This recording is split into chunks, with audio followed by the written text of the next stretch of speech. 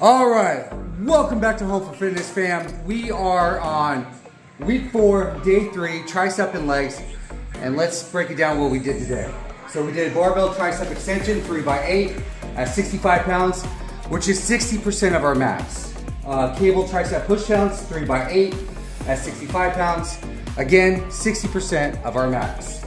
Uh, loaded seated dips, three by eight at 165 pounds, 55% of our max. Close grip bench press, 3x8 at 145 pounds, 65% of our max. Calf raises, 3x8 at 120 pounds, 80% of our max. Leg curl, 3x8 at 95 pounds, 80% of our max. Leg extension, 3x8 at 95 pounds, uh, 80, 80% of our max. And squat, 3x8 at 315 pounds, which is like 78 to 80% of our max. Um, I definitely died today.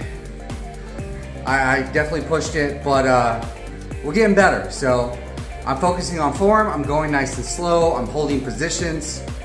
So we'll see how it goes from there. But anyways, enough of me. Let's go ahead and get out today's workouts.